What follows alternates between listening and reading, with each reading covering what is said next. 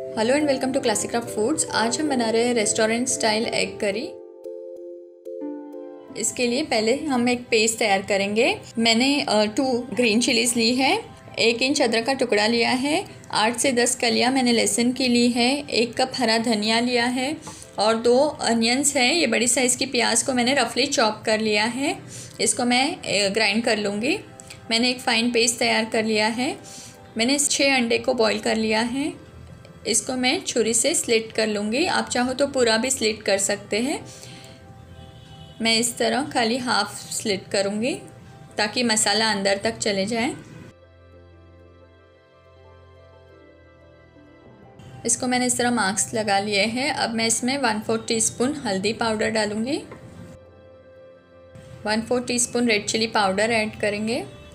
इसको अच्छे से मिक्स कर लेंगे। अंडे हमारे प्रिपेयर हो गए हैं। अब एक पैन को मैंने हीट करने के लिए रखा है। इसमें मैं ऐड करूँगी two tablespoon oil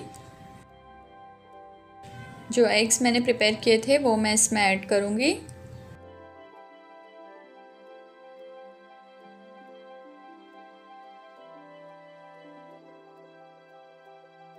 eggs को मैंने फ्राई कर लिया है, अब मैं इसको निकाल लूँगी।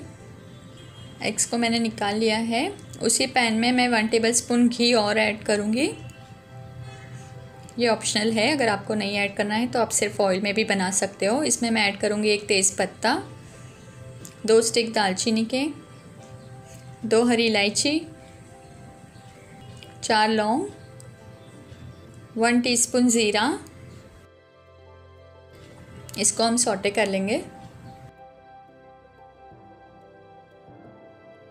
अब जो पेस्ट हमने प्रिपेयर किया था, वो हम इसमें ऐड करेंगे और इसको फ्राई कर लेंगे।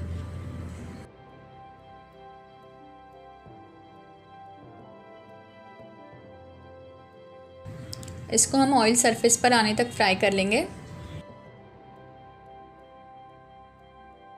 टमाटर को हमें मिक्सर जार में ग्राइंड कर लेना है।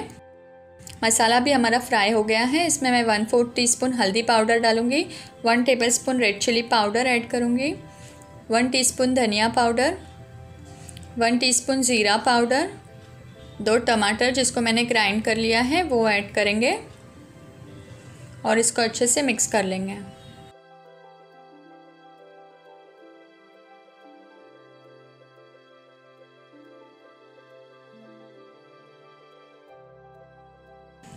वन टीस्पून सॉल्ट ऐड करेंगे। इसको हम ऑयल सरफेस पर आने तक फ्राई कर लेंगे। इसमें मैं ऐड करूँगी वन फोर्थ कप दही। दही को फेंट कर ऐड करना है।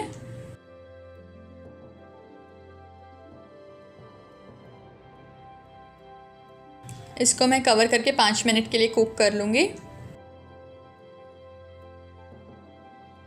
मसाला हमारा अच्छे से भून गया है। अब हम इसमें ऐड करेंगे एग्स जो हमने फ्राई किए थे।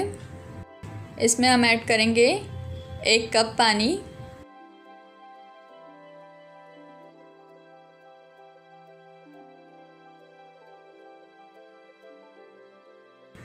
इसमें ऐड करेंगे वन टीस्पून गरम मसाला। इसको मिक्स कर लेंगे।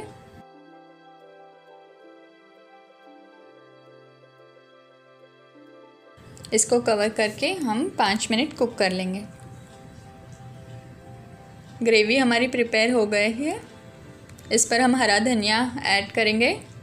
गैस का फ्लेम अब हम बंद कर देंगे और इसे सर्व करेंगे। रेस्टोरेंट स्टाइल अंडा करी हमारी बनकर रेडी है। अगर आपको मेरी रेसिपी अच्छी लगे तो रेसिपी को लाइक और चैनल को सब्सक्राइब ज़रूर करें।